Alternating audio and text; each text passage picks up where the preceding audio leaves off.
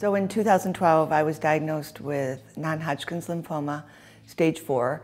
Um, it was an aggressive form, um, so I started chemotherapy immediately. I would spend a week or two in the hospital, come home for a couple weeks, go back into the hospital. So we conquered that, and um, I then had my spleen removed. Um, there was some noticeable um, irregularities about it. The next fall, um, I was diagnosed with stage three neck and throat cancer out of the blue, um, not related, which I have a hard time wondering. So um, inserted a feeding tube, had chemotherapy again, and uh, radiation. So um, that was two years ago.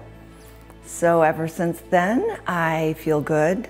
I've had clean scans, and I'm feeling really positive about the days ahead. When I was first sick and healing, um, Dr. Chris Vandenberg approached me and said he was going to start a uh, oncology rehabilitation department at Mary Free Bed. I was so excited. He asked if um, you know I would be a part of some of the the research, and um, they questioned patients what would have been helpful for you. Um, it was helpful to me to be able to talk about it with other cancer patients and talk to rehabilitation doctors and get their input about side effects from chemo, such as neuropathy. Mary Free Bed is, is, is fabulous, and uh, it was there for me. As I got stronger, I thought, well, I, I should have a goal because it will really give me a reason to work out harder.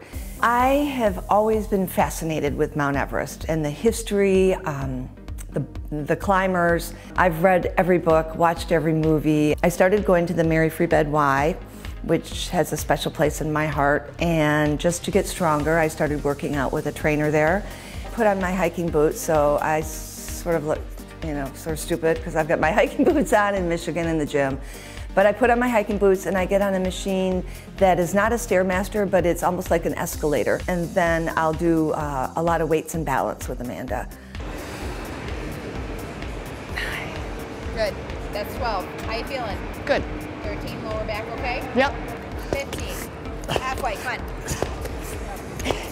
I found uh, a trek that um, takes you to the base camp of Mount Everest. It's the same path that all of these historical climbers have taken, and it's a place where all of the professional climbers and these historians have slept before they actually um, attempt to climb the mountain. So I'm going to Mount Everest Base Camp. Yay! Got to get used to that feeling and how to control and re-get your breathing back. Because that's what you're going to feel as you go up. Oh my gosh, I'm so excited. I if I could go.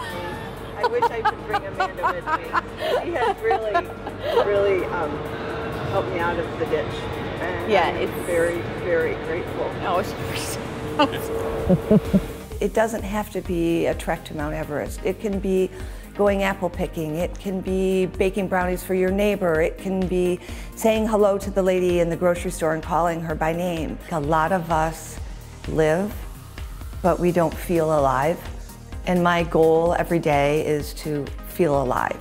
What can I do today to really feel alive? Because none of us have a guarantee for tomorrow. And, you know, I just think that we don't need to let time go by. And I feel great. I feel the best I've felt in four years. I feel strong. And I'm just really grateful for every single day.